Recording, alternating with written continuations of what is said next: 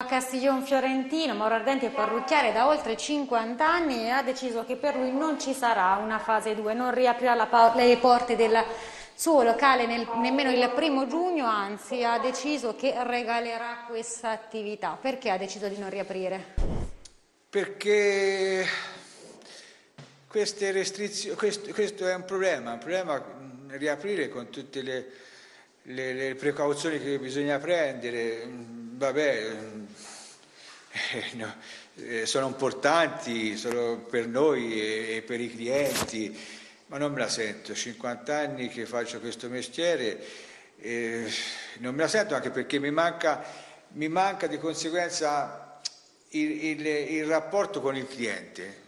Parlare, non, non c'è libertà, bisogna, il rapporto freddo diventa, viene il cliente, si fa il servizio, va via. E a me piaceva stare col cliente a parlare, eh, si tratteneva dopo il servizio, veniva un pochino prima e così. Comunque, eh, appunto... Però non chiuda questa attività, che resti, insomma, ha deciso di regalarla lei? Se c'è qualcuno che la vuole, io sono disponibilissima veramente a regalarla, perché è un'attività, è eh, grandissimo, non ci sono problemi neanche di, di, di metratura, qui si può anche eh, fare due, due clienti per volta, e niente, c'è un minimo di un po' di, di utenza c'è, se un giovane avesse voglia può venire tranquillamente, gli do le chiavi, le chiavi sono qui e, e inizia, si ha la, la, la, possibilità di prendere la partita IVA eh, tranquillamente, insomma, ecco. Perché mi dispiace vedere la mia attività che ho curato con, l'ho creata io, insomma, fin da, da, da sempre, insomma, la, e lasciarla vedere chiuso, insomma, un po' mi dispiace, è stata,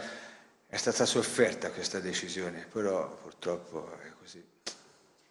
Ipotesi per il futuro di questo settore se ne sono fatte tante, delle varie misure che potrebbero essere prese, come potrebbe essere il lavoro del parrucchiere dopo il primo giugno? Ma eh, io, ora, se si guardano e le, le, le televisioni a livello nazionale, c'è quella, una ora senza fare nomi, ma insomma è che, che fanno vedere delle cose anche esagerate. Secondo me si lavora bene, tranquillamente, insomma, con, con la mascherina, con la visiera, con guanti, cioè grossi problemi non ci sono, al lavaggio stiamo di spalle al cliente. È vero, il nostro è il lavoro che la distanza sociale non si può mantenere perché si lavora addosso, ma con i guanti eh, siamo, sempre quasi sempre di spalle a, al cliente, quindi grossi problemi non credo, non credo che, che, ci siano, insomma, ecco. soltanto dice ma dice perché smetti? Ma cioè, io non, non, me la sento, de, de, de... poi mi sono abituato a stare a casa e ho altri hobby, sono grazie a questo lavoro ho, ho tanti hobby, tante passioni, tante, tante attività sociali. E anche lanciare un appello, ormai sono due mesi che i parrucchieri sono chiusi, ci resteremo inevitabilmente un altro mese, ma il suo appello è contro l'abusivismo, è un rischio sì, insomma reale oggi. Io, io sono da, da, sempre stato col sindacato, con un'associazione, la CNA,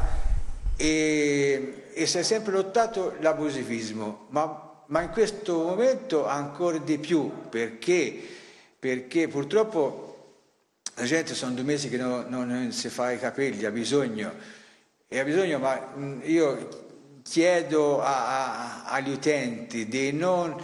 andare alle case a farsi o chiamare il parrucchiere a casa perché lì veramente c'è il rischio che non ci sono oltre a un danno economico eh, che, che però c'è proprio la sicurezza lì è zero, insomma, ecco, eh, quindi non affidatevi e, e, aspettate, abbiate pazienza eh, fino a giugno che ne riapri il vostro parrucchiere e andate, andate lì, fatevi il colore da solo, fatevi, fatevi fare una pulitina al collo da, dalla moglie dal marito, ma non andate dall'abusivo. Grazie Chiara, sposiamo l'appello.